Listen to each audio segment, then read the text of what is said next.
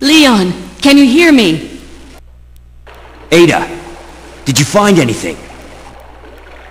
Right here.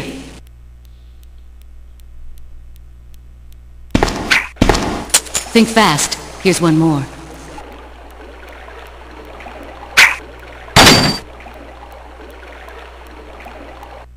Hey, I can't reach the ventilation hole. I'm going to have to find another way around. I'll catch up with you later.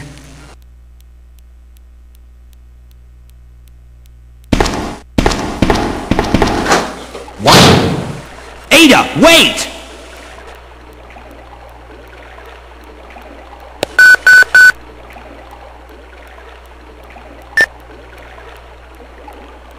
Leon, come in.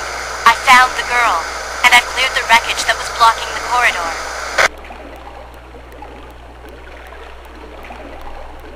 Got it.